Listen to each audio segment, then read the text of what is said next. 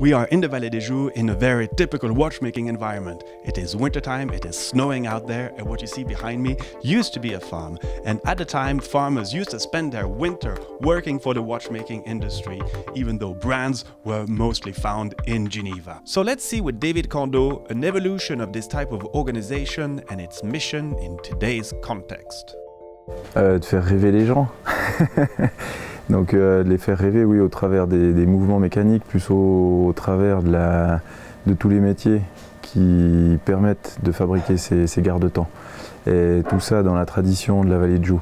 Donc grâce à ça, il y a la ferme horlogère qui est d'époque, qui est d'origine, qu'on a restaurée. Et puis après, ben, on a remis les métiers un peu plus modernes, à la place d'être avec les burins fixes et puis les, tours à denturer à main, ben, c'est un peu moderne avec des commandes numériques pour fabriquer les composants.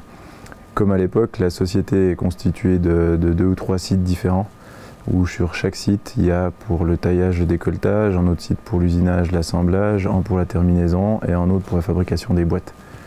Donc vraiment comme à, l'époque, puisqu'à l'époque, pareil, il n'y avait pas une grande manufacture, c'était plusieurs indépendants qui faisaient différents travaux pour faire au final une montre complète.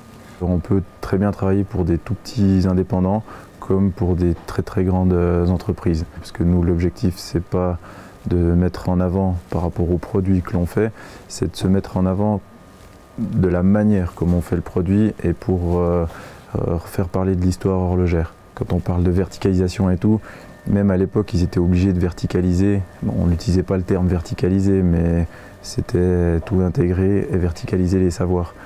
Euh, Aujourd'hui, pour ne pas les perdre, il faut verticaliser, sinon euh, ils, vont perdre les, le savoir-faire.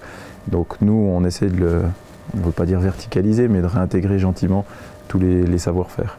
On les connaît, mais tout seul, on ne peut pas tout faire de A à Z. On est obligé d'avoir une équipe, comme toutes les grandes manufactures, qui ont euh, 600, 800 ou 1000 collaborateurs, mais chaque collaborateur est un maillon de la chaîne et on a besoin de lui. Mais on est très souple, très rapide, très flexible.